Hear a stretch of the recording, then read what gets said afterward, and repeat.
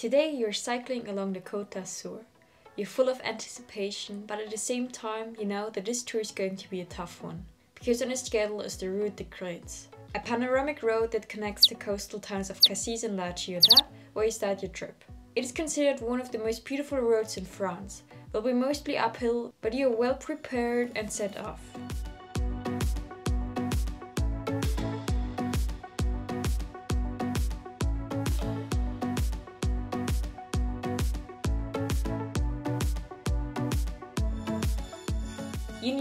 Right from the start, it's uphill. All your strength is needed to move forward. Step slowly, get used to the strain, you say to yourself. It probably won't get easier, but you're getting better and better. You motivate yourself as you cover the first few meters of the route.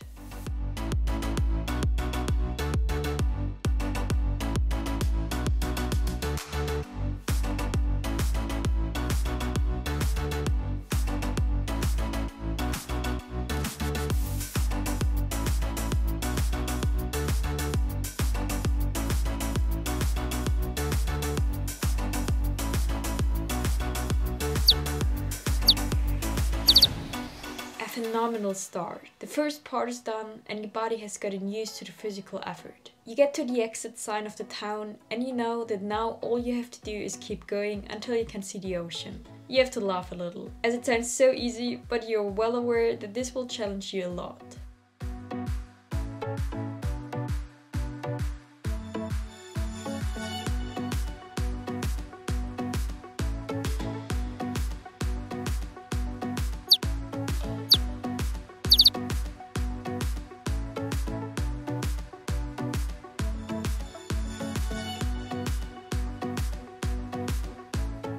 Approach the first serpentine, knowing it will not be the last on the way up, but it's a welcome change after the long straight road. As expected, it continues uphill. Your tactics are clear. Keep moving and let the beautiful scenery distract you.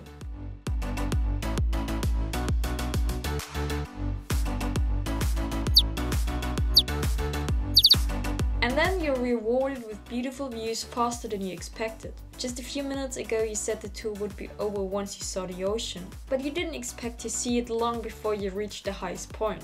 Of course you don't stop, you just keep going, and with the beautiful view it's a little easier.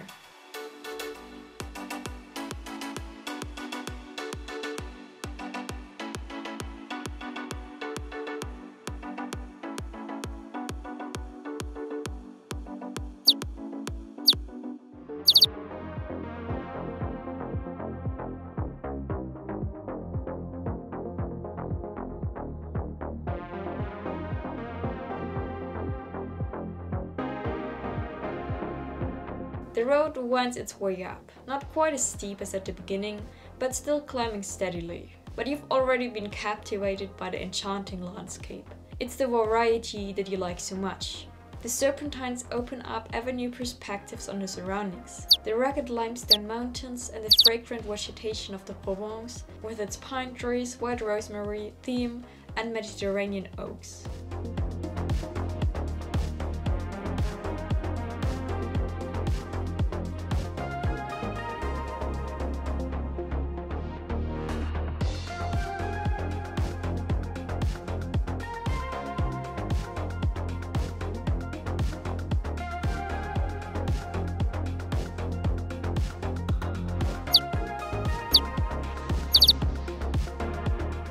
As beautiful as the ride has been so far, it's undeniably exhausting.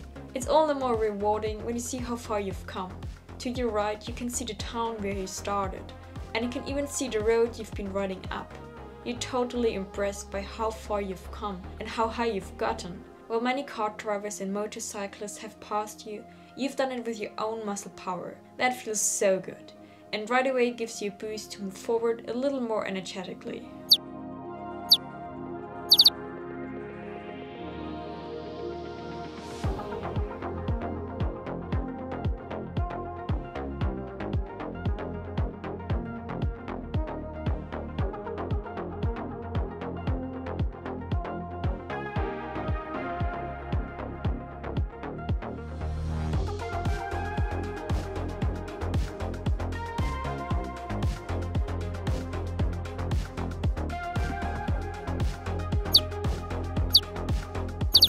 Just remember how happy you were when you took the first turn. And now you've taken so many turns that you can no longer count them. Yet you look forward to each one, because around every corner you're surprised by new views that resemble postcard motifs.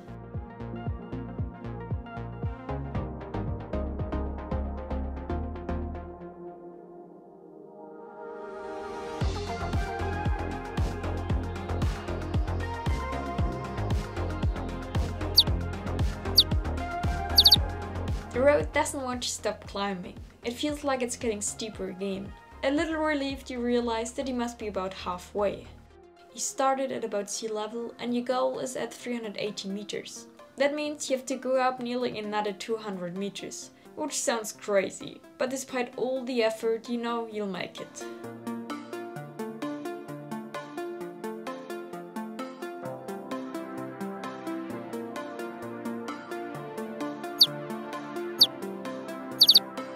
Slowly you start to clench your teeth. It feels incredibly hard right now.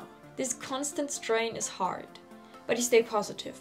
You're already extremely proud to have made it this far, which you realize again when you see the houses in the valley where you started, which already seem incredibly far away. Also the thought of what is to come keeps you positive. The view will be worth it, and your body will reward you as well. This is the next step to your dream body.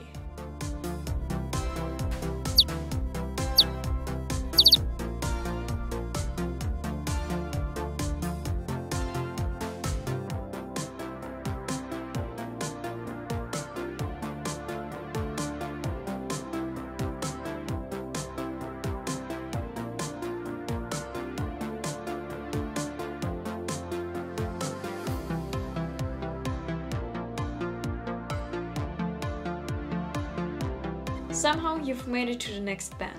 And the only thing that keeps you going is this view and the knowledge that you're getting closer to your goal with every meter.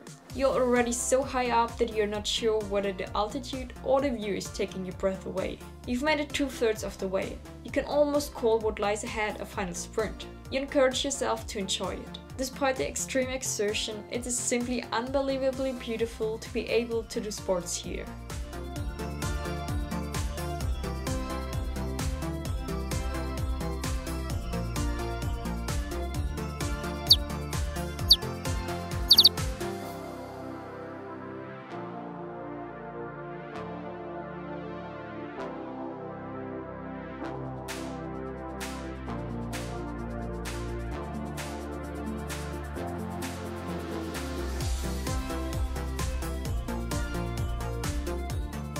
This is one of the most strenuous bike rides you've ever done.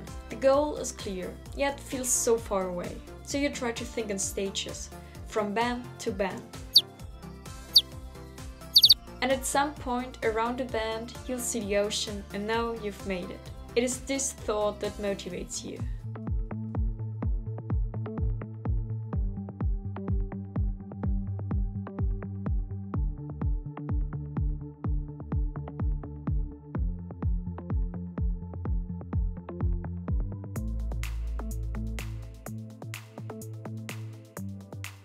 So far, you've been surprised with scenery and views around every bend, but also with a new climb ahead of you.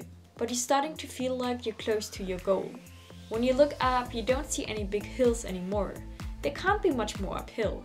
You're relatively sure that you've done most of it, and knowing that, you pedal a little harder.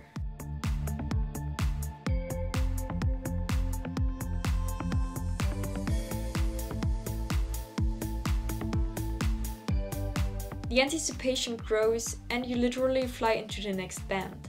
As far as you can see, it's no longer a steep climb. For the first time, it's just straight ahead. This unleashes a whole new energy in you. Although you're already totally exhausted, you just keep on going. It's probably the last time you see the city down by the sea. The next stop is the viewpoint overlooking the ocean, or briefly, your destination.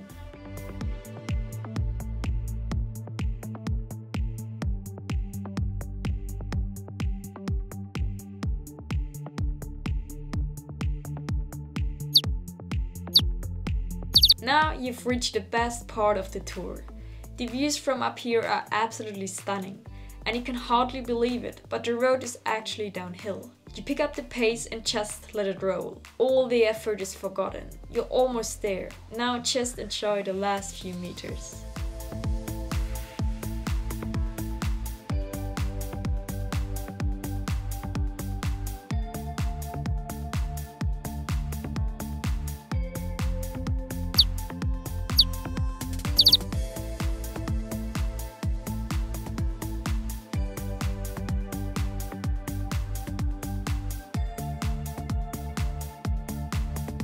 On the climb up, he doubted that you would ever make it to the top. But you didn't give up. You've been dreaming of this view all along. And now you're here. The ocean and the up to 400 meter high cliffs in front of you. All alone, you made it. And you can celebrate yourself for that. You made it. I'm impressed. That's moments we move for.